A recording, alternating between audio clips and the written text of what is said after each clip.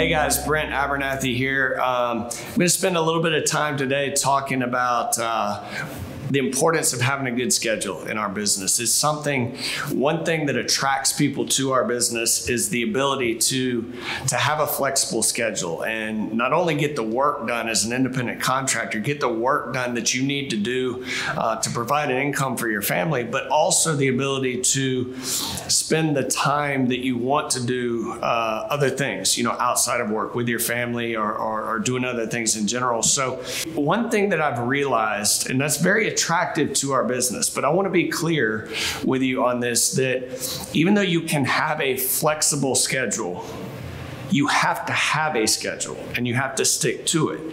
In our business, as an independent contractor, and I'm speaking from firsthand experience on this, when I first started in this business 11 years ago, um, I would find myself during work hours of the day. Uh, I was working from home, out of my home office at the house, but I would find myself getting distracted and going and running errands for an hour or two a day, or doing the laundry, doing dishes, whatever the case might be. And you look up and boom, all of a sudden you're missing an hour of the day and you're not getting the productive work done in the time that you need. You're not being efficient with your time. So, with all this, I'm going to go through the, you know, what we've learned uh, is a schedule that works for all of our agents, uh, or most of our full time agents. But I, I just want you to understand you can have a flexible schedule, but the this is the biggest thing that trips new agents up in our business is is they take advantage of the fact that they are an independent contractor and they have this thought process of oh i work for myself. I can work when i want to work.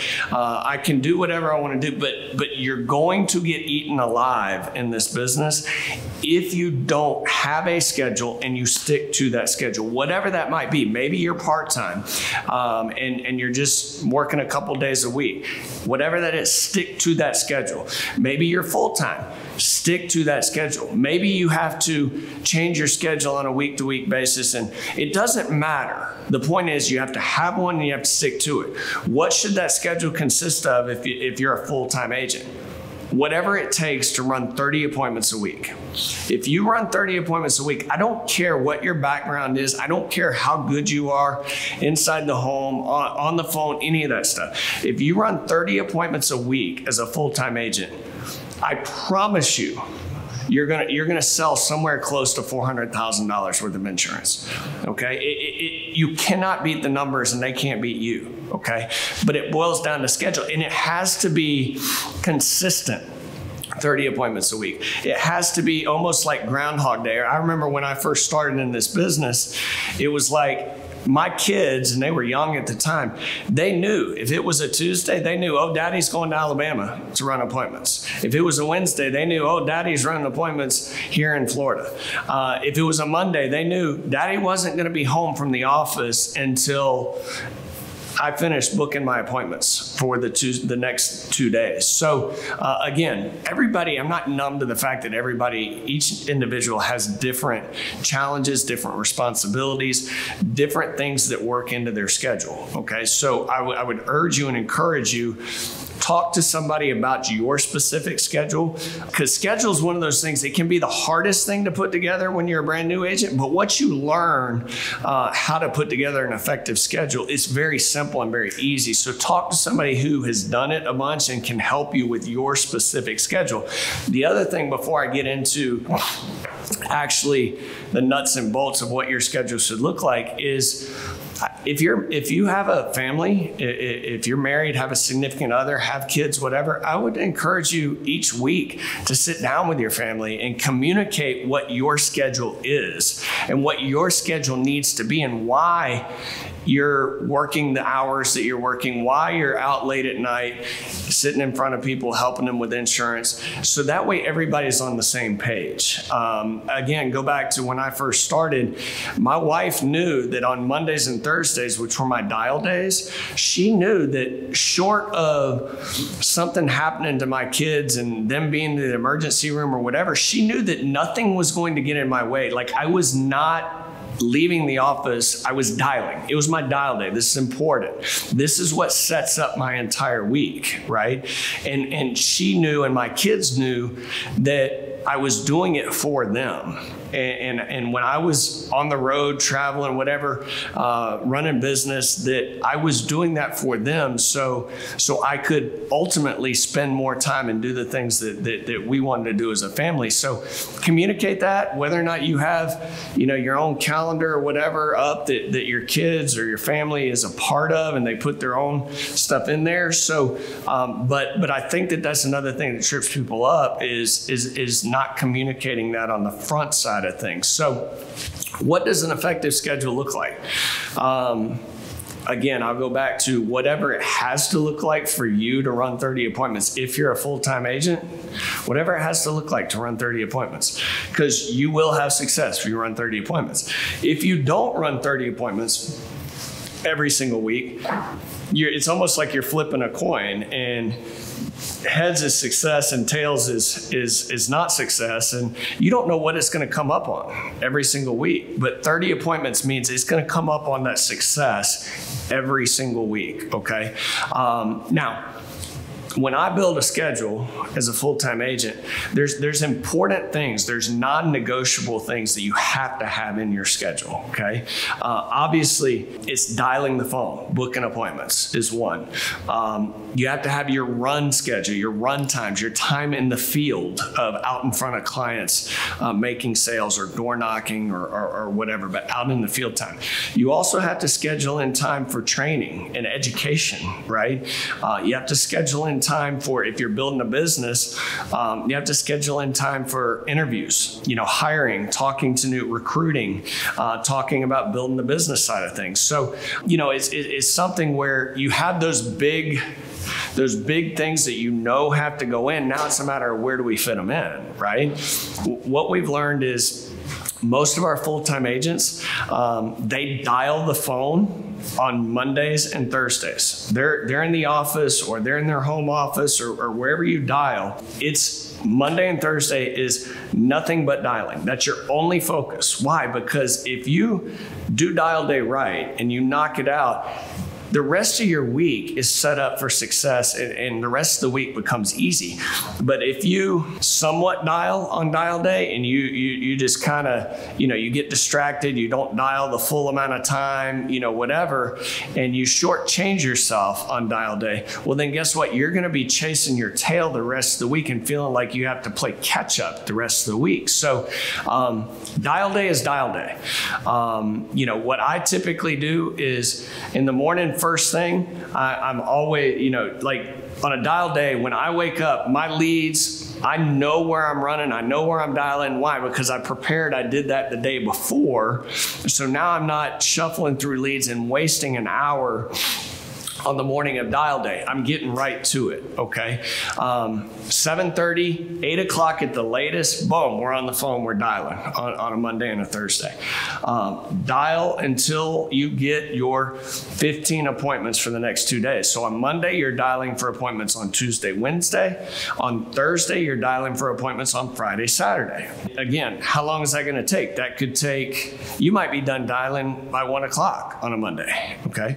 You also might still be dialing at 7.30 or 8 o'clock at night. I don't know, okay? And as you're, as a brand new agent, it might take you longer to book those 15 appointments. So maybe you're dialing, you know, later into the evening than a more experienced agent. It's okay. The point is, is whatever it takes on a dial day, however many dials it takes, however long it takes, set yourself up for success and focus on booking 15 appointments minimum for the next two days. So Tuesday and Wednesday, are nothing but field days. Okay, so you you're out, you're you're running your appointments, you're helping people with insurance.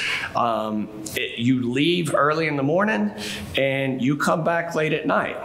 And again, that's that's something that needs to be communicated to to your family members, the, the, your loved ones, whatever. Um, that that that these days I'm going to I'm going to be out in the field. So it's also important, and I, I, I want to stress this because if you're working close to your home on a run day, if you have a no show or a reschedule, or maybe you have a little open block of time, it's real easy to to say to yourself, oh, I'm just going to go home. I'm going to go see the family, or I'm going to go home and chill out, or, you know, I'm going to go run an errand or whatever. Like, you have to think of field days as nothing but work days, period, End the story.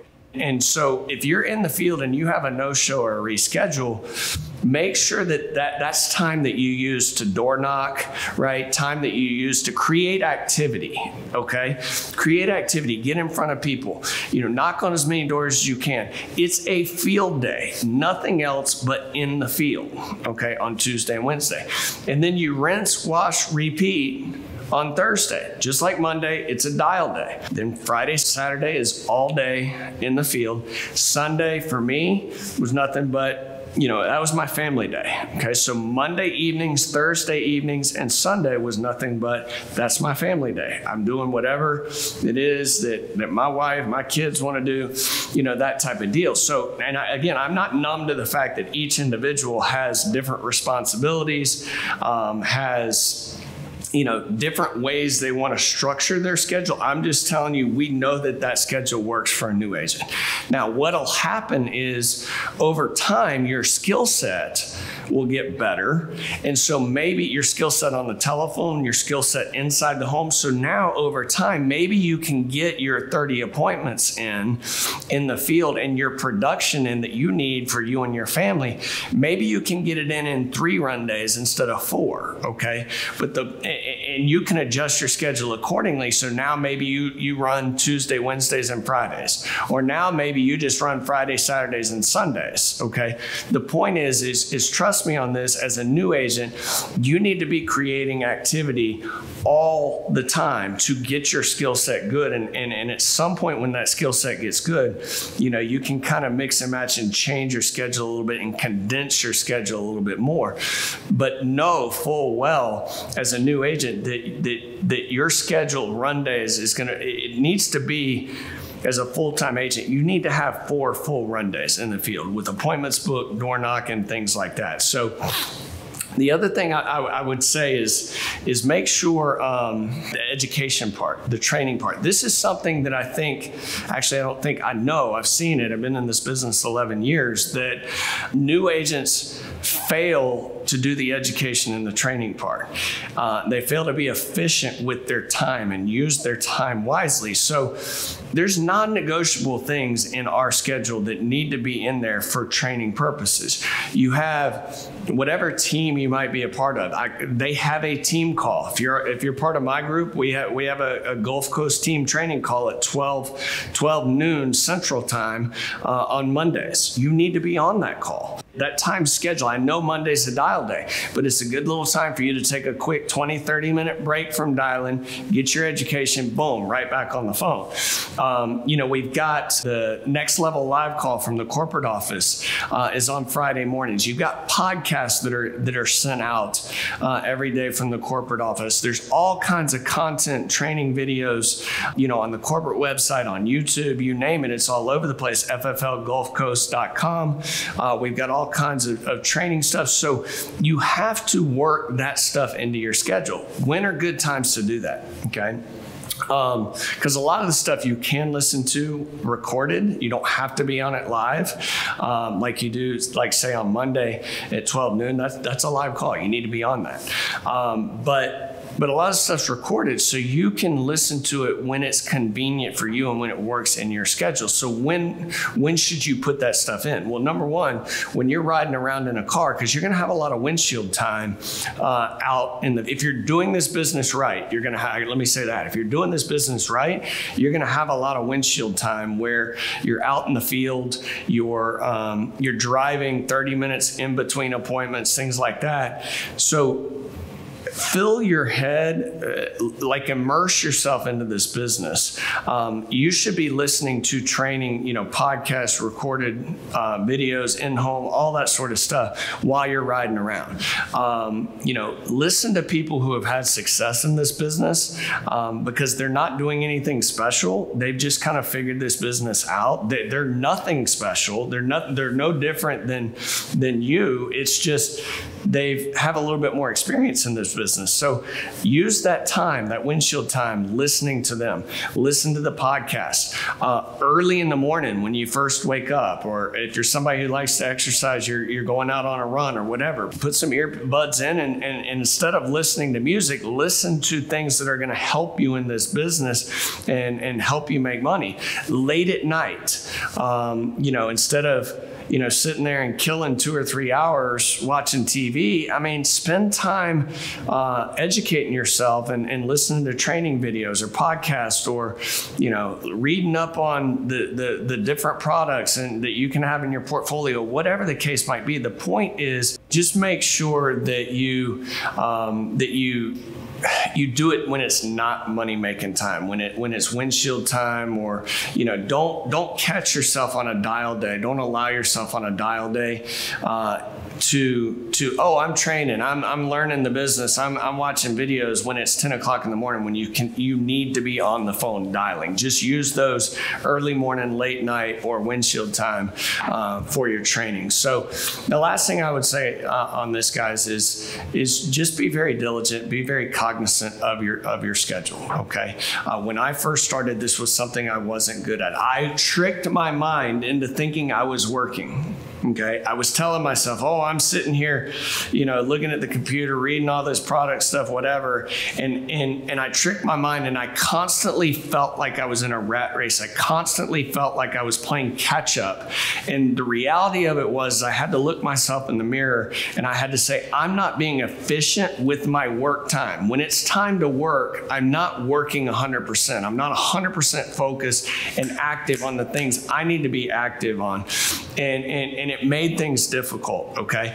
But this business is an unbelievable business that, yes, you can create your own schedule. You can do other things that you want to do uh, and, and still make a significant income for your family but it's not going to happen if you aren't very structured and very disciplined and very efficient with your schedule during the time that it is time to work. So I hope this helps, guys. Um, its schedule is very easy, it's very important. Um, and, and, as I said earlier, if if you're not sure what your specific schedule should be uh, for for your situation, get with somebody who has more experience in helping set up a schedule. They'll help you, and then you just you just have to be the one to run responsible to to follow through and uh, and make it happen. So hope this helps.